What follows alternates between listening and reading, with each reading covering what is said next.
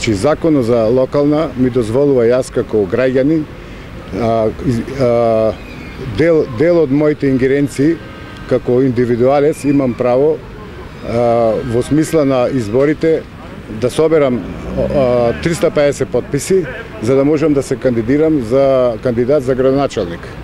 Мојата основна цел е да им пружам на граѓаните шанса и своето размислување да го дат и за независна листа на, на советници, независна листа за кандидат за градоначалник.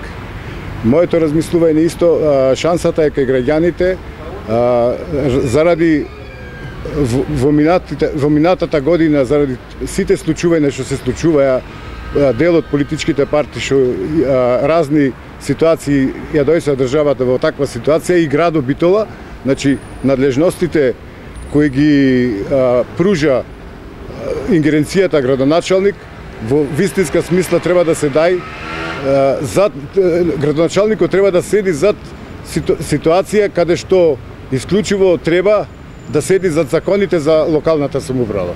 Во овие, во овие изминати години, за жал, граѓаните не видеа такви услови, такви услови за да може да се да се оди напред со градот. Те јас ка сум оптимиста, шансата им ја пружам.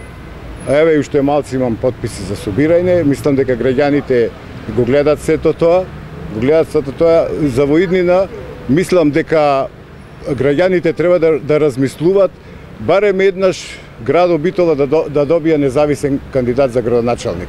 Тоа мислам дека многу работи се, се менуваат општо во живењето на граѓаните.